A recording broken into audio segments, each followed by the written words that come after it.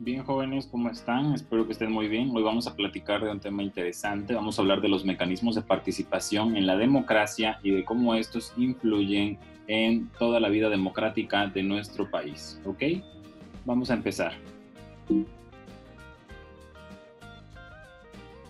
¿Qué son los mecanismos de participación? Bien, un mecanismo de participación es una herramienta mediante la cual podemos dar a conocer lo que la sociedad siente o piensa sobre un aspecto en especial y es parte de un modelo democrático.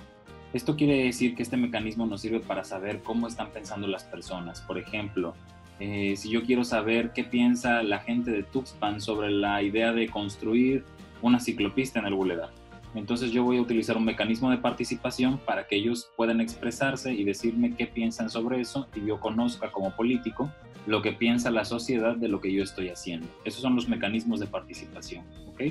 Pues bien, vamos a empezar a hablar sobre ellos. Uno de los mecanismos de participación más utilizados es el plebiscito. El plebiscito consiste en llevar a votación algo.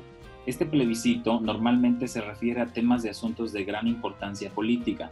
Puede ser la permanencia de un gobernante que quiera saber si la gente vota porque se quede o porque ya no se quede o si hay algún problema con la Cámara de Diputados y quieren que haya una votación ahí o quieren revisar algún problema de diputados, se somete a plebiscito, que es una encuesta de carácter un poco más formalizado en la que es principalmente para temas de interés político muy, muy importantes y que tiene que ver con los funcionarios políticos. ¿Ok? Bien, vamos al siguiente. El siguiente mecanismo es el de referendo. Este referendo es igual que el plebiscito, un mecanismo de votación en donde se consulta a la gente, pero este normalmente trata sobre cuestiones como eh, la aplicación de leyes, algunas normas. Entonces, si la norma o la ley va a seguir, se tiene que someter a un referendo. Entonces vamos a votar por si se sigue aplicando esa ley o si ya no les gusta que se aplique esa ley o si se va a construir alguna obra pública que ya no les interese, si quieren que se construya o no se somete a referendo, es decir, a consulta del pueblo, y el pueblo vota por qué se hace con respecto a ese tema o esa ley o esa norma que se está hablando, ¿ok? La diferencia que tiene con el plebiscito, que es importante mencionar, es que el plebiscito puede ser utilizado para quitar a un político. En el caso del referendo es más bien como una herramienta únicamente de consulta. La consulta popular es otra herramienta, esta es una de carácter un poco menos formal, esta puede ser para cualquier tipo de cosa, para saber si pavimentamos la calle que atraviesa eh, Infonavit en Echaco, entonces vamos a hacer una consulta popular para ver si la gente de la colonia lo quiere o no lo quiere. La consulta popular es básicamente eso, no tiene un carácter tan formal, pero hay otros tipos de consulta popular que son más este, formales, como el plebiscito o el referéndum que ya mencionamos anteriormente. El cabildo abierto. El cabildo abierto es un tipo también de herramienta de participación democrática en la cual se reúnen en un ayuntamiento los regidores o las personas importantes que van a tomar una decisión política y van a decidirlo frente a todo el pueblo que está sentado o una, pues, unos representantes del pueblo que van a estar ahí para escuchar lo que se está decidiendo y van a poder participar. Por eso se le llama cabildo abierto, porque van a estar las personas que van a tomar las decisiones políticas, pero también las personas del pueblo escuchando y ellos también van a poder interactuar participando o diciendo si les conviene o no les conviene o si les convence o no les convence. Ahí tenemos dos imágenes donde se aprecia bien cómo participan en el cabildo abierto. Ustedes pueden observar en la tarima, en la parte de arriba, en la mesa, a los funcionarios políticos. Si hablamos de un municipio, a los regidores y a los síndicos y están dialogando sobre algo y la gente o los seleccionados de la población que van a participar ahí están sentados que también podrán emitir algún tipo de comentario.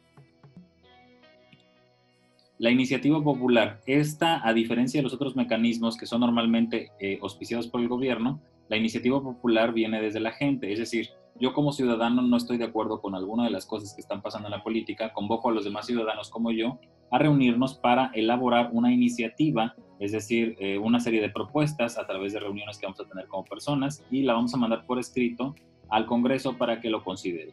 Eso es lo que llamamos iniciativa popular. Puede ser una iniciativa legislativa, puede ser una iniciativa ejecutiva, depende a quién le dirijamos esa iniciativa. Y la última, que es una muy importante, se llama revocatoria de mandato. Este mecanismo de participación es cuando definitivamente el pueblo ya no está de acuerdo con el gobernante o el gobierno y utiliza esta figura política de revocatoria para quitarle el mandato a esta persona que está haciendo mal uso de la parte política nacional. Se puede revocar de mandato a los gobernantes, a los gobernadores, a los municipales, presidentes municipales, a los diputados, a los senadores a incluso los jueces magistrados si cometen alguna falta. Normalmente para esto se convoca y el pueblo es quien decide revocarlo del mandato. Hay varias maneras de revocación de mandato, las pacíficas y las no pacíficas, que es cuando se lanzan una serie de protestas y marchas como las que están pasando en Estados Unidos y llegan a crecer de tal manera que el presidente no tiene más opción que dimitir, dejar el cargo y es revocado. Bien, pues estos son los mecanismos. Ahí tenemos las fotografías de la revocatoria de mandato. Vemos cómo está un lapicero y el presidente está colgando de él. Después vemos cómo está corriendo el alcalde y viene la revocatoria, que el águila simboliza el pueblo que está sobre el alcalde. Y luego vemos cómo en el juego de ajedrez están las fichas, los peones derribando a la reina. Entonces se ve que absolutamente todo puede pasar en una revocatoria de mandato. La población tiene las decisiones finales y si la población no está feliz, esto es un problema político. Les agradezco por estar aquí en la clase. Si hay alguna duda, ya saben, lo vemos a través de Zoom. Muchas gracias.